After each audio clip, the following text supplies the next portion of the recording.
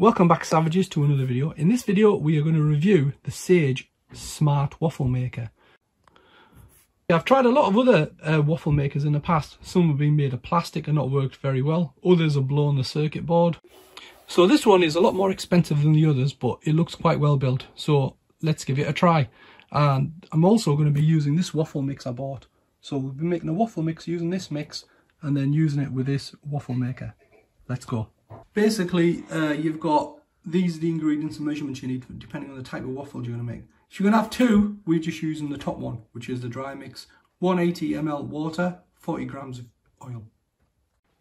So there we go. It's taken about five to six minutes, but as you can see, the LED on the front, it has turned to orange and it beeped twice. So that just means it's ready for the waffle mix.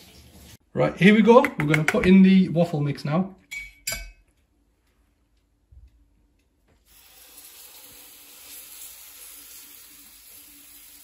There's a reservoir running around the outside, so if you overdo it, it'll just um, spill into there. Alright, there we go. So lid on. And then as soon as you do that, you get a countdown timer. So it's going to take about six minutes to make this classic waffle with that setting for the light or dark. Okay, here we go. Last 10 seconds just to show you what happens when it's ready to go. There you go. You get three beeps, tells you it's ended. So let's lift the handle and see what we've got inside. Ooh, that looks tasty. Let's get it out there and get them on a plate.